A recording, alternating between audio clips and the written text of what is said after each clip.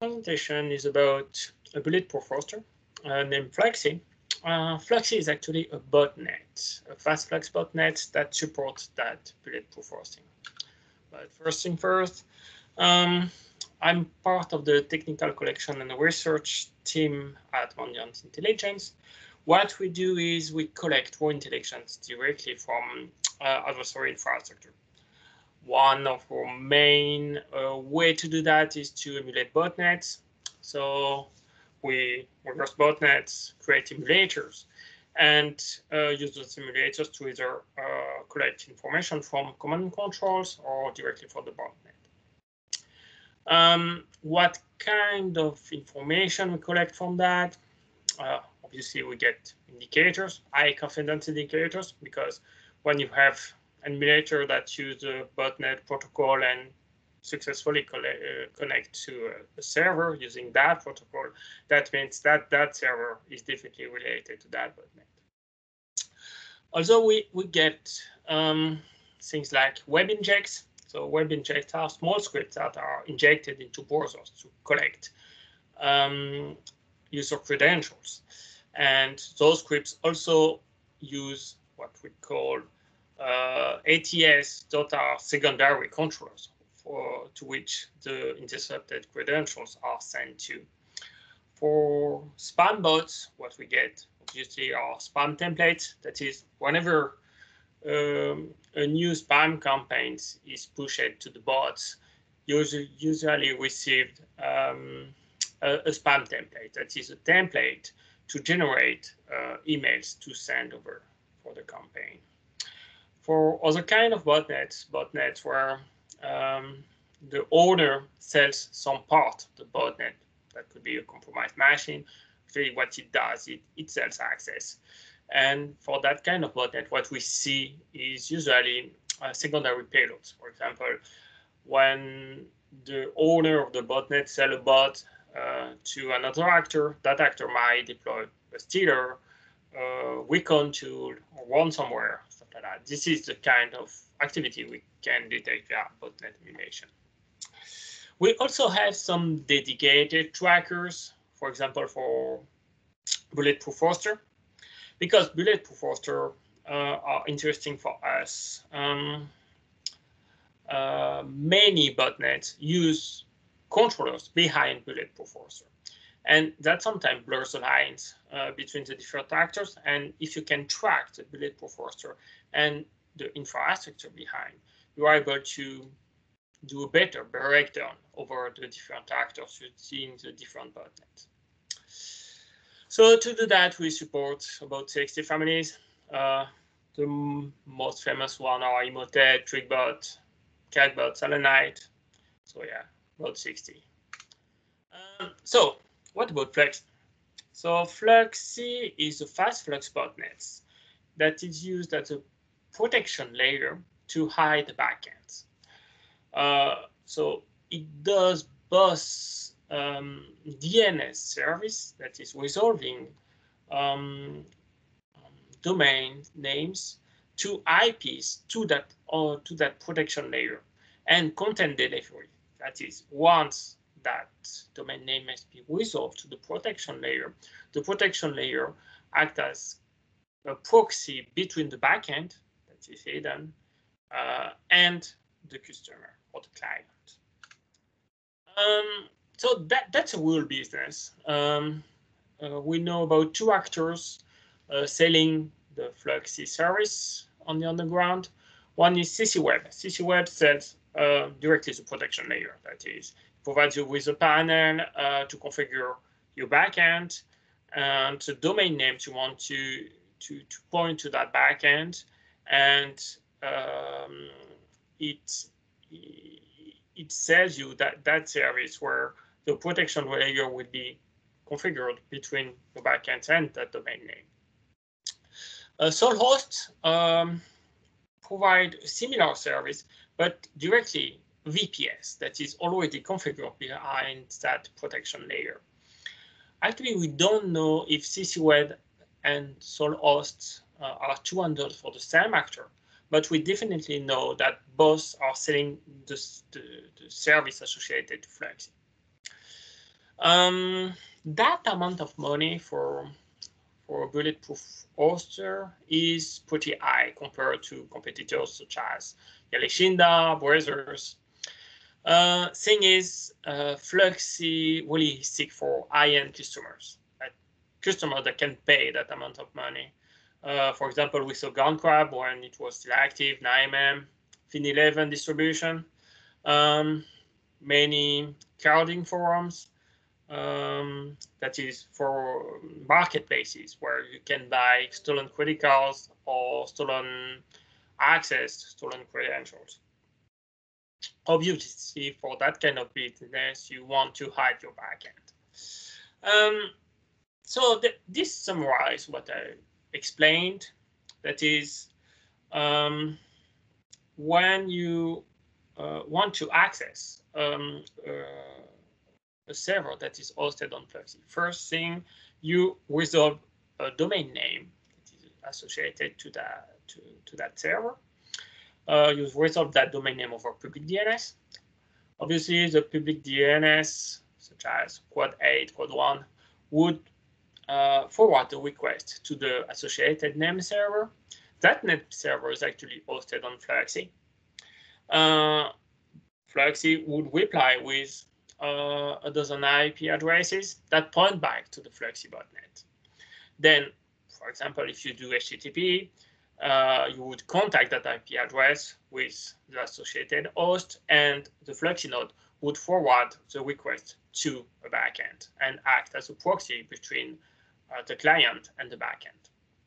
So it's a fast Flux botnet because the IP uh, that are provided by botnet for domain name change about every 15 minutes. And that's the same for the name, the associated name server. Uh, actually, there is a, a, secondary botnet that is named Furteam. There are few analyses about the Furteam malware.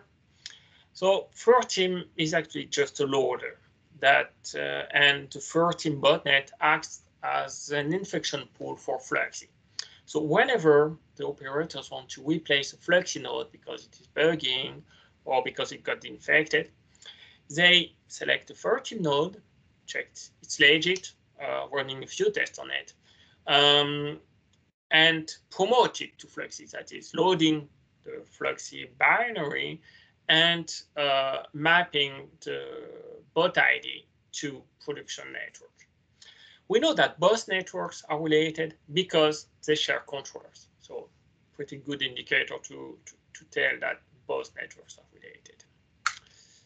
Um, so what we want to do is to collect information from the adversary infrastructure here. Uh, so the first thing to do that is to understand how the Fluxxy networks communicate with its controller. So Fluxxy use uh, what we name DNS beacon. That is, you take the message you want to send to a controller, you encode that into a domain, you append that domain to a master domain, and you send that big domain for resolution over public DNS. Uh, obviously, the public DNS infrastructure will uh, forward that domain name to uh, the associated name server, and the Fluxxy operators typically control either the associated name server or control a gateway between the um, public DNS exits and the configured name server. So this is not new technologies. There are many malwares that use uh, that kind of beacon. However, um, when a malware use that kind of technology, usually the DNS beacon, that is the domain names, end up on passive DNS databases. Um, and Fluxxy operators know that. So they, and they don't want their beacon to be logged into passive DNS. So what they do is that on all DNS requests, they, they reply with a server fail. Uh, and that, that's that's a message that tells you that DNS query resolution just failed because uh, the server did not answer. So, so that that's usually enough for to prevent uh, DNS resolution request to be logged in passive DNS. But uh, back in 2013, there was an outage that um, and several uh, public DNS servers um, were failing and resolved all domain names to the to the same IP address. This was documented on TechNet. Um, and one of the Fluxxy master was part of that outage. So for a short period of time, uh, all DNS requests to that master actually resolved to a valid IP address and the DNS resolution and up on um, passive DNS databases. So that's an example of um, Fluxxy beacon you can find on uh, passive DNS. So that big domain with the random part at the beginning is actually the, the, the, message. And the last part, masters.bulklabs.com, is uh, a master, uh, a Fluxxy master domain. So um, no, we have that beacon, and what we want to do is to decode it. So um, that's where it gets a bit more difficult. Um, Fluxxy binaries use a, a library, a C++ library that is named CryptoPP. Uh, it's a library where all public key algorithms are encoded or with the same template. It says all coded with the same template, RSA, elliptic curve, ElGamal. All those public algorithms are encoded with the same template because they most most of them relies on, on the same primitive, uh, the same cryptographic primitive. And what changed is how you do an addition, how you do an exponentiation, how, how you do that, that, that kind of thing. And so that that to reverse uh, that kind of uh, code when all symbols are stripped, you really need to know um, how the different algorithm works. So yeah, I made it for Fluxxy, and I was able to identify that Fluxxy uh, used ElGamal. So ElGamal is a pretty simple algorithm. So the idea is that you have a field uh, generated by a, a, prime and generator. So here it's three.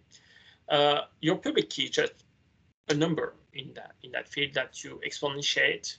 Uh, that is, you take three and you exponentiate three with um, your private key. You obtain a public key uh, and you use that public key to encrypt messages. Uh, so obviously, uh, it is difficult to uh, compute the private key from the public key because discrete logarithm is a difficult operation. However, you, you can notice that public, that public key is pretty small. And if you have the right tooling, such as CADO-NFS, uh, you can actually compute the, the logarithm and obtain the private key. So this is what I did here. So uh, CADO-NFS is pretty simple to use. Uh, you use a DLP option, put that big number, and it will compute uh, a discrete logarithm. However, and this is a principle of the uh, field sieving, you you you don't know which base that logarithm is computed from. It is it, can be any base, and what we want is the logarithm on base three, three being the generator of the field. So uh, once you have the result from um, CADO-NFS, you just need to divide that result uh, by the log3 logarithm that is also provided by CADO-NFS. So that, that that's those few lines of Python uh, show how to, to compute uh, uh, that final um, uh, logarithm. And you obtain that private key, 58645, so on. So once you have that private key, you can decrypt that message. It just you, just need to to decrypt with uh, ElGamal with the provided private key, and what you get is protocol version. Here it's one. Uh, the current protocol version is 12. uh, the node IP, uh, that, that is the, the, the IP address of, of the victim machine. Uh, a few flags that tells you if the machine is a VM, if it is stage one loaded. Stage one is uh, the first team binary I told you about before. Um, and if it has firewall activated or not. Um, then you get the uptime. The, the uptime is used to, you know, select the nodes that are put into production. If you have a, an uptime that is too short, you're in staging until, until your uptime grow enough to to to know that the machine is reliable enough to to be put in production. And finally, the bot ID. So that's the really important part. So I told you about that selection process uh, where you have first team node promoted to Fluxxy. When they do that promotion, they record the bot ID as part of the uh, production network, the Fluxxy production network. And if you beacon with a random bot ID that, I don't know, you generated randomly, you won't get any reply. You won't get any config. You won't get into, into the network, actually. You really need to use a bot ID that has been selected to be uh, able to receive configuration from the Fluxxy network. So this is why being able to to intercept first those beacons and to be able to decrypt those beacons is really important when you want to collect information from the botnet. So the, what I just presented is, was actually the, the Fluxxy protocol until end 2019. In 2019, uh, they released a new binary uh, that I named Fluxxy FFP. FFP being a reference uh, in, in the Fluxxy binary, and it stands for uh, Fast Flux Proxy. Um, when that deployment of that new version of Fluxxy happened, a couple of researchers noticed that and saw that a new fast flux botnet was emerging. Actually, he, he, and one of the name Kathleen gave was um, uh, SandyFlex. And actually, it's really the same botnet. It's just Fluxxy, where new uh, new binary were deployed, and since those binary features new capabilities, uh, the resulting botnet looked a bit different. Um, so again, what we what, what you have to do when you track adversary infrastructure and there's new deployment of a binary, you, you need to reverse it and to understand again the, the, the protocol. So what they did here is that really improve that enrollment process. You know, I told you about that 13 part where they're promoted uh, nodes to Fluxxy, and those they have additional checks on uh, once in production. So um, that that new protocol uh, don't use DNS beacon anymore. Uh, what they do is uh, first they check um, a master domain here, assassin.mu.com, and uh, fetch the associated TXT record. So TXT record is just a text associated to a domain name and stored on public DNS infrastructures. Uh, and that TXT record is actually uh, an RSA signature. And uh, the, the binary include a hard-coded public key. And if that signature match the RSA public key, then go to the padding data uh, decode it further. There is an additional RC4 there. Uh, and um, interpret the resulting data as IP addresses. So, for example, on the 512 uh, RSA signature, you have about 12 bytes of padding data. Um, so once you have decoded the padding data into an IP address, you take your beacon message you encrypt it with elliptic curve, again, publicly as coded into the in the sample, uh, and uh, you send that beacon blindly on any UDP port or any ICMP ID associated to that IP address. And you do that blind. That is, you send the backend and that's all. You don't expect any reply. you don't even know if the packet reached the, the IP address. But if you do that correctly and if you pass a few checks, they'll do on, on, on the node, uh, you'll receive a new config with new master domain, new crypto keys, uh, new DGA seeds, a whole new configuration. Uh, and you do that again. That is, you have a new master, you fetch a TXT record, go to the padding data, decode the padding data, get IP addresses, and again, do blind beacons to those IP addresses or UDP ICMP. In the meantime, so say, say, say no control node uh, with that staging configuration, and they will test the node, they will test the bandwidth, they will test the running processes, they will test um, uh, the attached devices. Um, so, so that they're sure that that node can be put into production. It is legit, it is okay to, to use. So if you pass all those stages, so all those tests, and if you do the beaconing correctly, at some point you would receive a final production configuration from the Fluxxy network. And this is how you know that binary is completely related to Fluxxy because the, the, the source of the of the config would be a, a Fluxxy subnetwork. This is, for example, the uh, the RSA signature that is associated to assassin.mu.com and uh, the uh, RSA public key that is uh, the, the modulus. Actually, that modulus is is weak. That is, you can factor it into two primes. Uh, that fact will be important for what's coming next. So now, uh, what's interesting with that new version of Fluxxy is the way they manage um, um, bots. So you can push configuration to to a bot that is that would include crypto keys.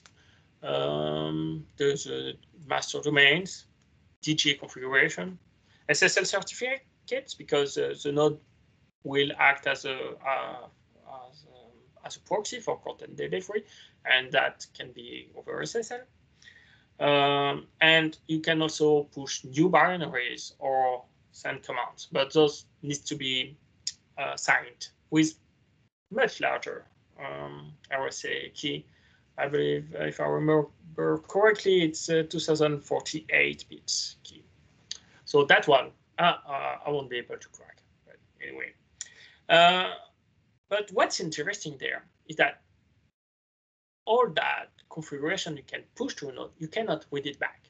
That is by design, the, um, the, the Fluxxy developer uh, made it difficult to, to read back the configuration of a node. So that they know that if they push configuration to a node, themselves, they, they cannot read it back. So they know that security researcher won't be able to read information, those interesting information from a node. What you, however, what you can do, uh, what you can read from a node are process, running process names, no telemetry data to check that the node is okay, uh, attached devices to check that the node is legit and not, you know, security researcher virtual machine. Um, some statistics uh, and telemetry on the inbound data, that is uh, what IP addresses um, uh, were client for content delivery or DNS requests. And a bug check. That's that bug check. You, you just send a message and the Fluxxy binary would take a memory dump of its own process and send that memory dump to uh, the controller. The controller being the IP address that was decoded from the um, RSA signature in the padding data. So if you control signature, you would be able to encode uh, an IP address there. And if you trigger a bug check, then you can get memory dump and read the, the node configuration. So yeah, it's not easy, but that's the way. Uh, another interesting point with Fluxxy is its DNS server. uh, because it's completely custom. Uh, for example, it supports a subset of uh, DNS records. It has some auto tuning capabilities.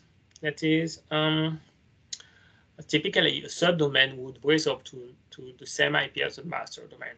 If you take a.a.a.a.Fluxxy domain, you would get the same IP addresses as the Fluxxy domain. So this is not usual behavior for DNS server, and this is a way to identify Fluxxy domains.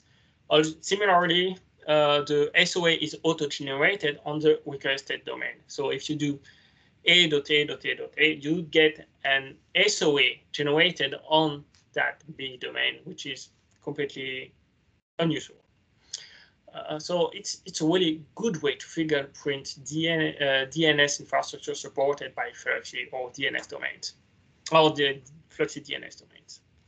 Um, another interesting feature is uh, they can implement whitelist and blacklist uh, on, on the DNS server. So if you're blacklisted, the DNS server won't reply to your DNS requests. Also, they have a masquerade um, list. That is, if you are on the masquerade list, uh, the DNS would reply with other IP addresses, that decoy IP addresses. I, I'm not sure how they, they use that, but yeah, my my belief is that they, they use that to, you know, to blur lines and to make security companies or security researchers think that the, the domain is legit because it does not resort to bad IP addresses.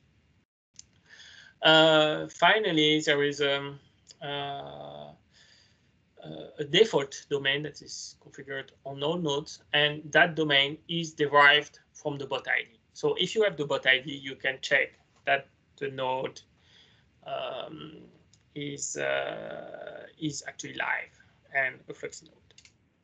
All those can be used to fingerprint Fluxxy nodes. Uh, also, Fluxxy does content delivery, uh, and that's an example of a configuration of a content delivery. So I believe that was a configuration for um, Dreambot. So all those domains, uh, all those domains used as host for HTTP proxy uh, would be, and the, the, data would be forwarded to that IP address on port 80. Uh, that mapping, that proxy mapping is associated to blacklist. They also use blacklist and whitelist for content delivery. And uh, what you can see, TCP BL hash is actually the hash of the blacklist. And to get the actual blacklist, you need to uh, query a peer Fluxxy node for, for the blacklist with the hash. And also that mapping is actually uh, bound to SSL.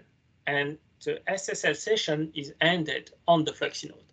That's interesting because the traffic between the node and the backend is actually in clear, clear text and the, the node receive uh, the certificate and the, the, private key for the certificate to do the SSL termination. Um, but this is just an example. They, they also have other configuration where the, the traffic is actually encrypted uh, end to end and not point to point like, like this one. Uh, they have that that protocol that actually looks like Tor uh, protocol when they can, you know, encrypt the traffic at the entry node and decrypt the traffic at the exit node. And in the middle, the traffic is is encrypted. So if you control the exit node, you would be able to see the, um, the reply in clear text. And if you control the entry node, you can see the, the query in uh, clear text, which is actually the same as Tor. If you control exit there or exit nodes, you can you can see some part of the traffic. Um, and that's all for today. And I hope you liked the presentation. If, if you have any question, I'm happy to answer them.